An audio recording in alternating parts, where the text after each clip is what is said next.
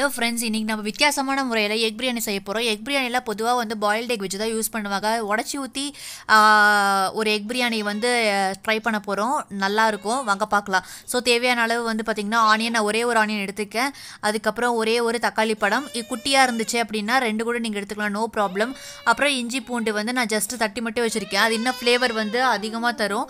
அப்புறம் ஒரு கையளவு வந்து பார்த்திங்கன்னா புதினா அப்புறம் கொத்தமல்லி இருந்தால் கொத்தமல்லியும் வச்சுக்கோங்க. ஜஸ்ட் ஒரு கார்னிஷிங்காக அப்புறம் தே பிரியாணி செலவுலாம் என்ன இருக்கோ அதை வந்து நம்ம எடுத்துக்கலாம். அப்புறம் நான் வந்து பாஸ்மதி அரிசி வந்து யூஸ் பண்ணியிருக்கேன். ஒரு ரெண்டே ரெண்டு பேத்துக்கு ஆன அளவு. அப்புறம் அஸ் யூஷுவல் வந்து ஆனி ஆயில் ப்ளஸ் நெய். அந்த காம்பினேஷனில் வந்து நீங்கள் ஒன்றா இன்னும் ஃப்ளேவர் நல்லாயிருக்கும் ஸோ பிரியாணி செலவு அப்புறம் தேவையான அளவு வந்து பச்சை மிளகா அப்புறம் ஆனியன் இஞ்சி பூண்டு அப்புறம் தக்காளி பழம். இது எல்லாமே யூஷுவல் ப்ரொசீஜர் தான். அப்புறம் தேவை கொஞ்சம் உப்பு நல்லா வேகிறதுக்கு. நான் கொஞ்சோண்டு கறி மசால் வந்து போட்டிருக்கேன். அதே போதும். கறி மசால் வந்து இன்னும் நல்லா ஃப்ளேவர் கொடுக்கும். ஸோ பச்சை மிளகாய் மூணு இருக்கிறதுனால அதுவே நல்லா காரமாக இருக்கும்.